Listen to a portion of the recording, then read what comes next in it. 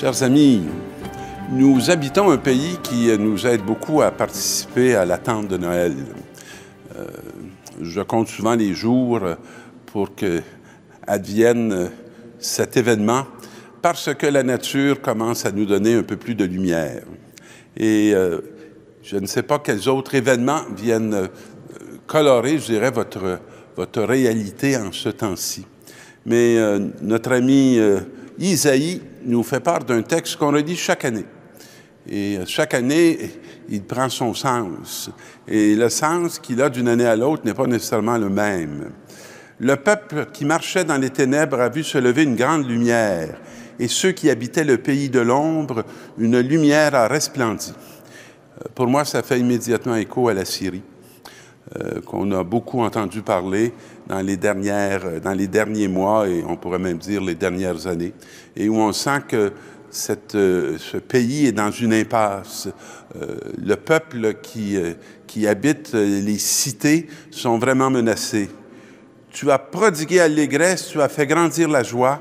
Ils se réjouissent devant toi comme on se réjouit en faisant la moisson, comme on exulte en partageant les dépouilles des vaincus.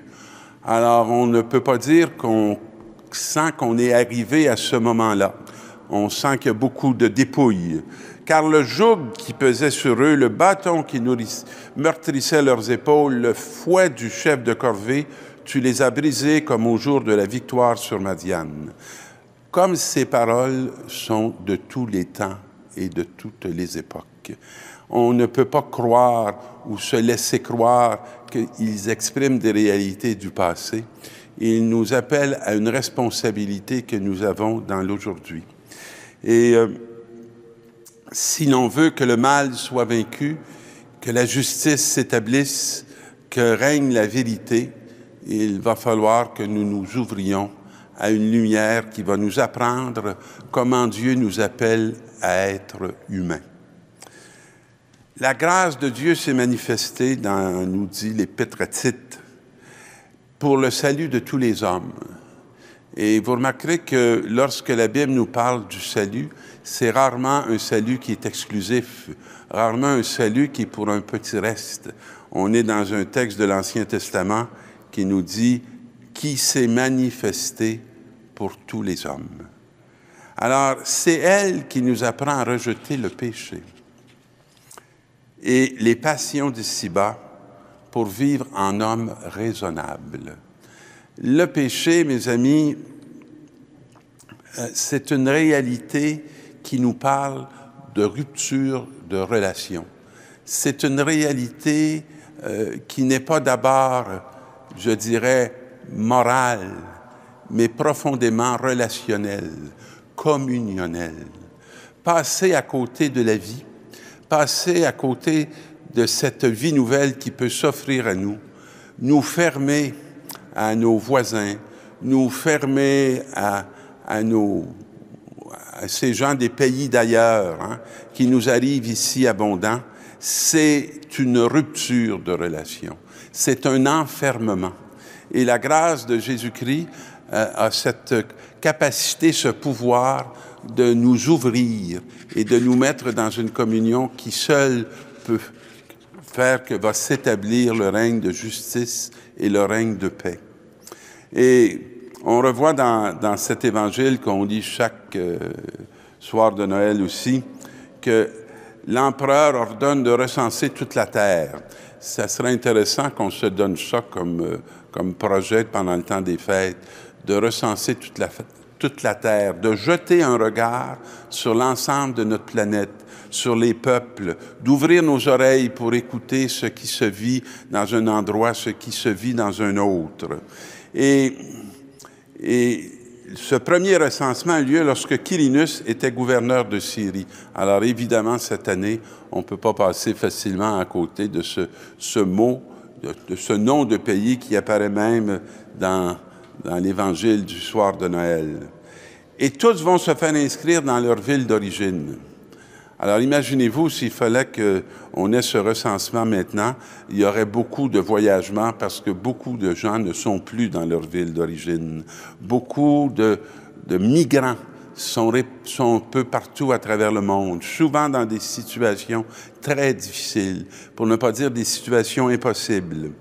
Et tout le monde va se faire inscrire, et c'est ce qui va arriver à cette petite famille dont Marie et la mère, Joseph le père et Jésus l'enfant à naître.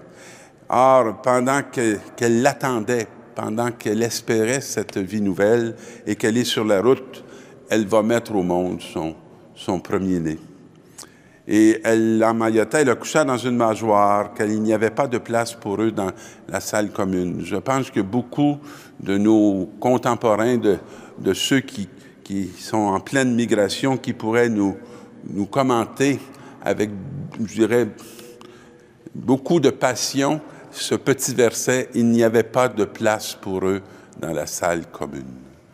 Alors, mes amis, euh, le mystère même de Jésus va commencer dans une réalité qui est vraiment une réalité tout proche, qui n'est pas une réalité euh, extraordinaire, qui est la réalité du quotidien souvent, par rapport auquel une lutte doit être faite pour qu'on puisse trouver notre place, pour, pour qu'on trouve place à naître.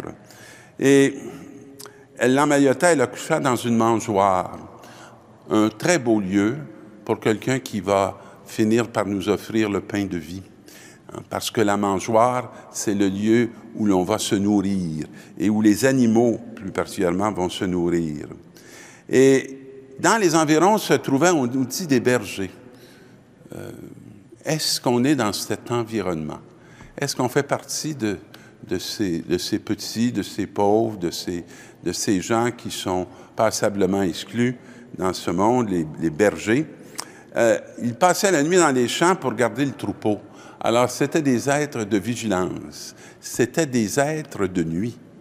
C'était des êtres qui, euh, qui, qui, avaient cette expérience où, que Jésus va souvent, euh, dans laquelle Jésus va souvent nous interpeller, hein, de rester éveillé, de, de prier.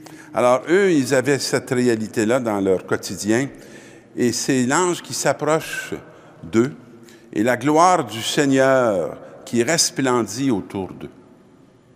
Alors, c'est étonnant de voir ces tout petits qui, dans la nuit, dans une tâche des plus humbles, va voir la gloire de Dieu se manifester. Et quelle est-elle, cette gloire de Dieu? Alors, ils reçoivent une première parole. Ne craignez pas, car voici que je viens vous annoncer une bonne nouvelle.